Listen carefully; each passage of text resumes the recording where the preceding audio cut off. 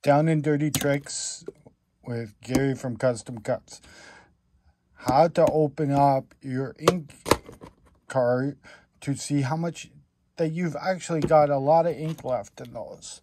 Okay, what you need, X-Acto knife, a flathead screwdriver. What you're going to do is you're going to run your knife along the seam to cut the decal.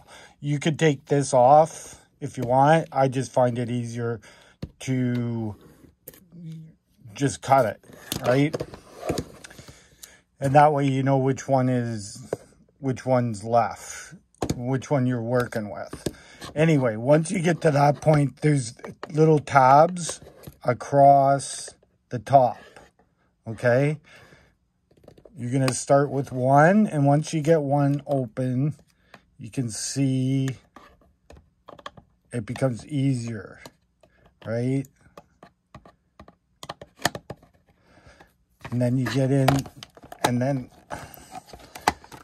it's real easy. Now, I've already opened this one. You can, hopefully you can see the ink moving into the front. So what you're going to do, I use Coroplast. You should have some of this if you're making signs. And all I did was take it and cut it into that length and then scored it to make accordion.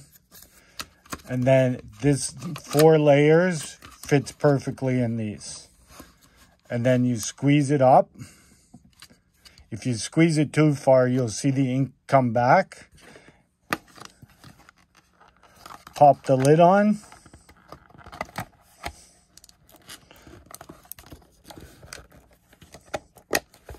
Everything just pops back in and you're good to go. Now, if you take out the chip, it will read that it's 100%. Okay? I'm not too sure about this thing.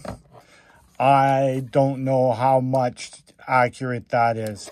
But I know, like every other printer, the chip keeps the reading of how much is in this cart or the estimate of how much is in this cart.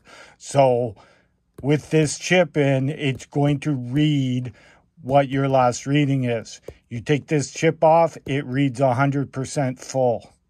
That will get you through a weekend and until you can get more ink.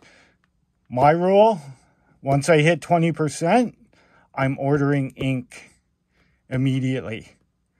Don't wait just like your waste tank, if it says 90% full and it needs to be changed soon, change it now.